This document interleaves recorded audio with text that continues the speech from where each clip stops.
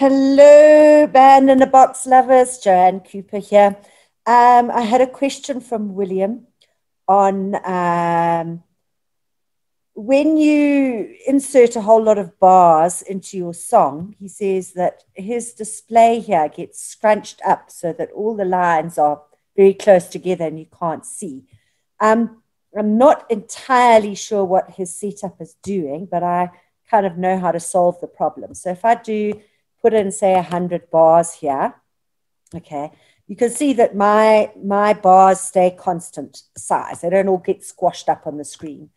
And it's probably something to do with your display settings. So you go to preferences, you hit the first one, display, and then you mess around with these max number of rows and minimum number of rows. So auto adjust the number of rows in each song and then the max number of rows that are displayed on the screen. Um, I think that will do it, hopefully.